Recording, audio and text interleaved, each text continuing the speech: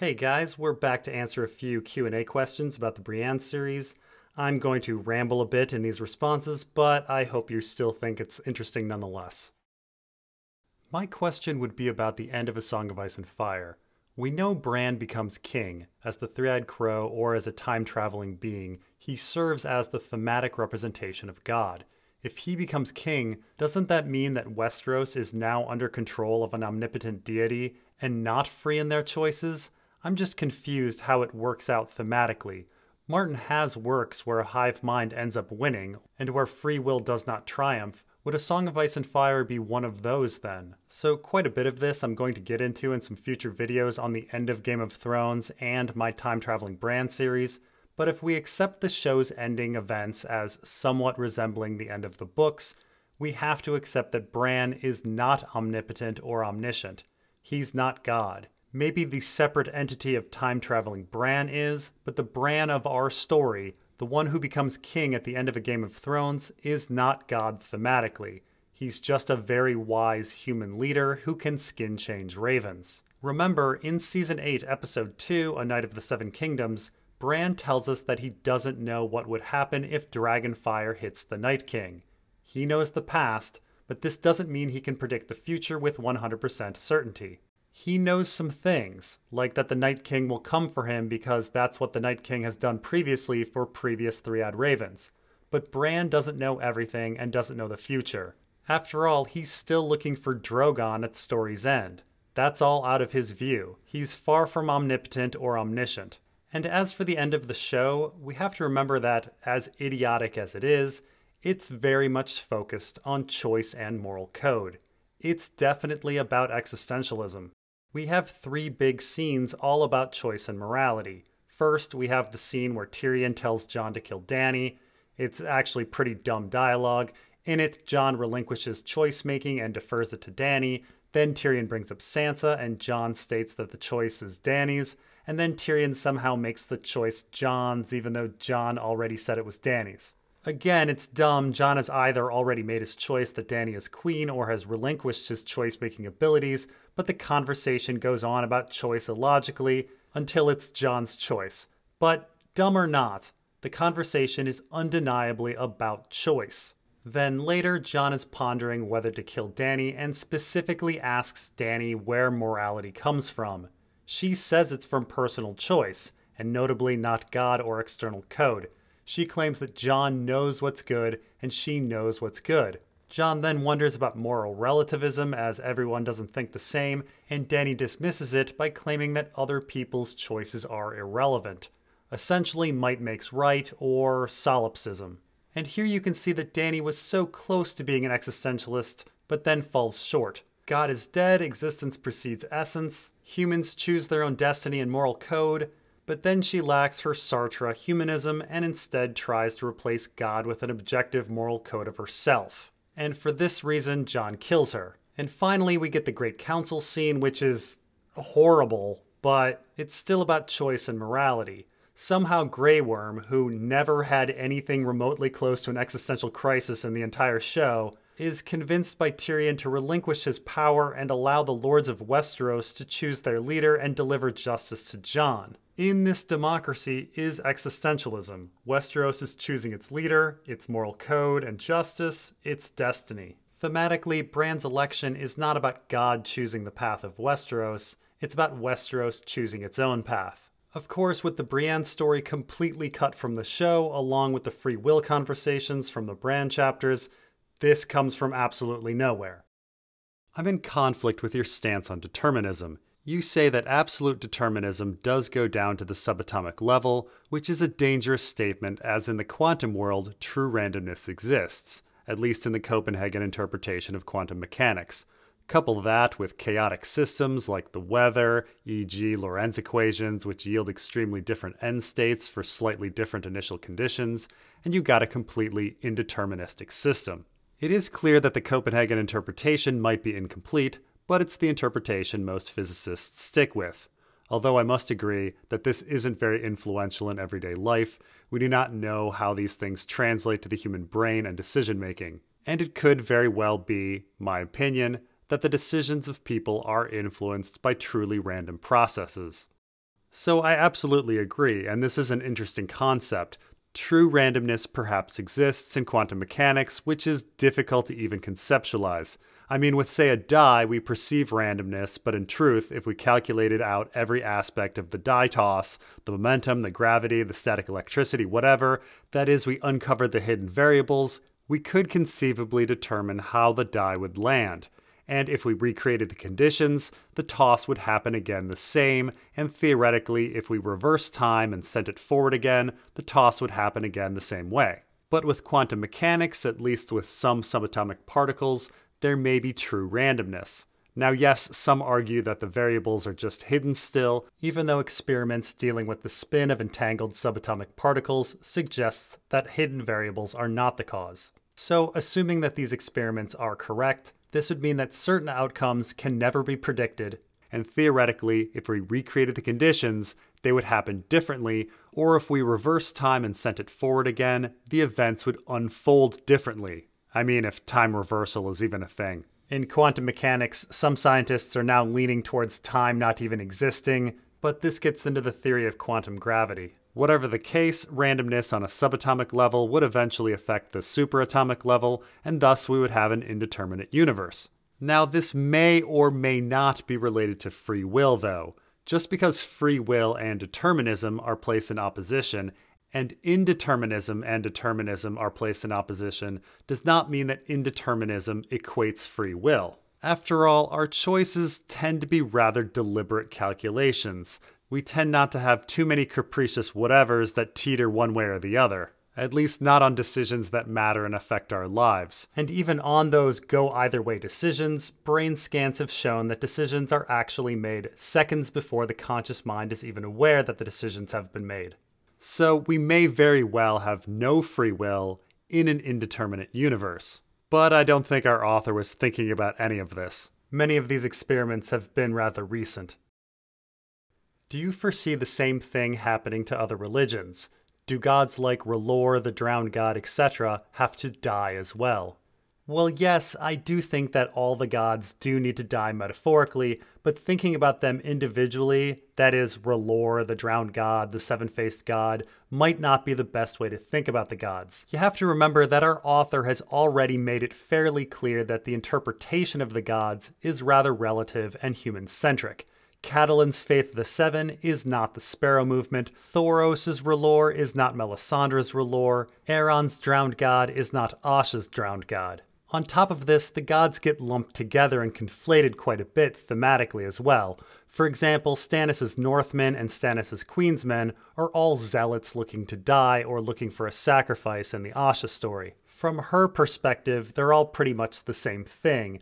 To Moqorro, all gods besides R'hllor are just thralls of the Great Other. And even in the Brienne story, which is mostly about the Faith of the Seven, she's being executed at the location of a dead weirwood, by wavering R'hllor followers. So we have to remember that the notion of God is fluid. So I think it may be more useful to talk about the death of God in terms of God's replacement with human based philosophy driven by various human characters.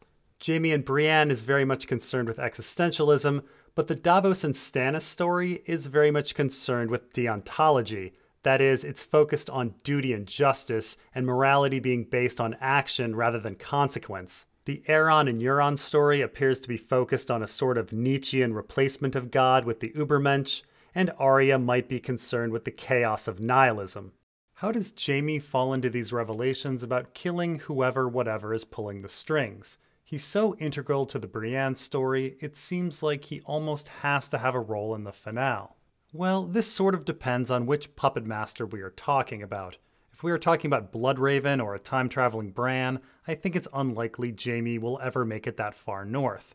Jaime will likely be involved in the defeat of Lady Stoneheart, though she's not much of a puppet master for anyone besides Brienne and maybe Jaime. Incidentally, I also see Jaime being involved in the death of Xolo the Fat, but Xolo is a nobody in the grand scheme of things. We can perhaps speculate that there is someone important on the Isle of Faces, but figuring out what that place is about is anyone's guess. But thematically, it's worth noting that unlike with, say, Bran or Brienne, for Jaime himself, God is already dead. Jaime was not much of a religious man, In the first chapter of Jaime and a Storm of Swords, Jaime specifically thinks about how he has no concern for the gods. And Jaime broke his knightly religious oath 17 years ago when he killed Aerys.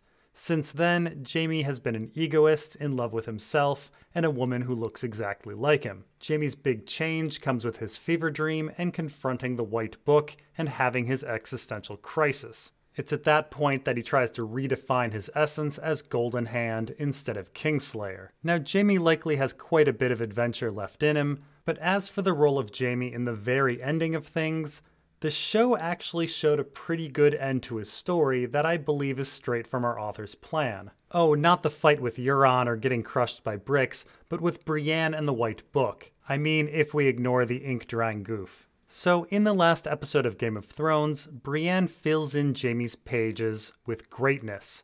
Jaime was successful. He did redefine his essence. He filled his life with great deeds, overcoming the stain of Kingslayer. He took Riverrun without the loss of life, he sacrificed his childhood home, he outwitted Targaryen forces, he fought for the living, and he died defending his queen. It's a life of intelligence, self sacrifice, bravery, caring for others, and love.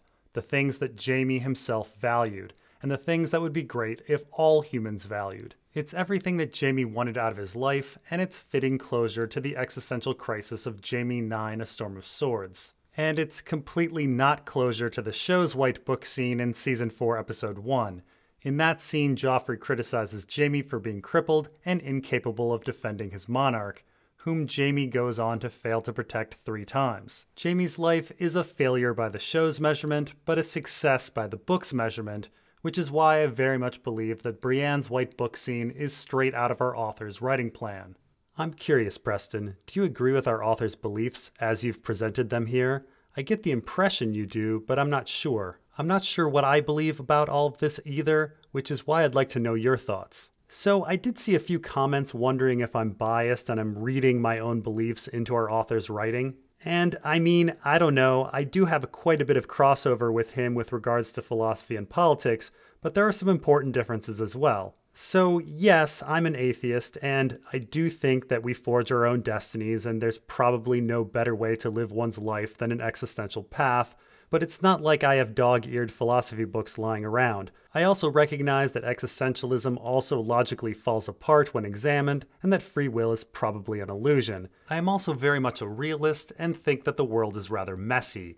I gander our moral codes and truth are rather illogical and contradictory and come from a slew of sources cultural tradition, genetic code, our rational minds, group think, subconscious and poorly understood feelings, whatever. I certainly don't think that killing God is some enormous liberating exercise for the mind, though it's probably a small step in the right direction.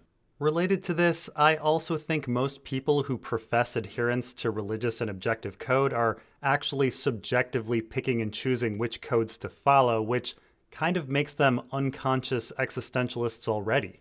I mean, deep down, I'm probably a nihilist who aspires to be a humanist, utilitarian, or existentialist and just wavers around in his beliefs, but maybe that's everyone. One big difference between my beliefs and our authors is how we view religion. Our author clearly thinks religion is special. He believes it's unique in how it inspires, he believes it's unique in how it's controlling, he believes it's unique in its philosophical influence. And I do not believe religion is special. In fact, I don't think it was particularly inspiring historically. The belief in God didn't bring about language or agriculture or transition humans from bronze to steel or bring about clean water or split the atom. I mean, it did some things. It built some buildings, started some orphanages, ended slavery in America, but I don't think it provided any necessary role for humanity historically, Sand King style. And I also don't believe it's particularly bad. It's just a cultural grouping like anything else race, nation, ethnicity, whatever. And yes, I do believe religion's overall effect is negative, but I believe the same thing about those other cultural groupings of race, nation, and ethnicity. I kind of think the only difference between religion and the other cultural groupings is that in Western culture we tiptoe around religion and give people a pass for ridiculous practices when we wouldn't tolerate those practices with other cultural groupings. I'd also like to point out that there are some things I never gave much thought to until I read our author's work. The basis of the Brienne story and the idea that gender is intimately weaved into society's cycle of war is, in my opinion, pretty genius. I had viewed war as a resource issue, or a political issue, or a news media issue, or a military industrial complex issue, but I hadn't really considered it a gender issue. If those are actually my ideas that I'm projecting on our author, then I'm a hell of a lot smarter than I think I am. So, how do the others tie into this? You mentioned in a previous video that they're a male institution like the Kingsguard and the Night's Watch, but how does that connect to this video? Well, what I believe our author is essentially saying is that the entire screwed up system of Westeros is the product of religion and people believing in external code. The war, the sexism, the emotional toughness, the human sacrifices society makes, it all originally comes from religion, according to our author. And this is manifested metaphorically in The Others, a caricature of human society where men are the perfect macho men emotionally tough, great fighters, and the women, Craster's wives, are subservient homemakers and breeders. And it's important to note that at least in the show, the others were created by the children of the forest, who are essentially the old gods. So religion created the others, just as religion created the warmongering, sexist, emotionally tough, sacrificing world of the Seven Kingdoms. What I believe our author is saying is that for a new caring humanist society to be established, one needs to first remove religion, that is, the puppet master, maybe Bloodraven or a time traveling Bran. Then the cold and crappy, war focused, sexist society needs to be torn down and defeated, that is, the others need to be eradicated. And then a new pluralistic society of the people needs to be established, the Democratic Great Council. And that's all for now. Thanks for sitting through my scattered thoughts. However, this isn't really the end of the discussion. After putting together this Q&A, I became motivated to do a video on the end of Game of Thrones, and some of this information may be touched on again in the Time Traveling Bran series. Anyway, thanks for watching, and we'll see you next time.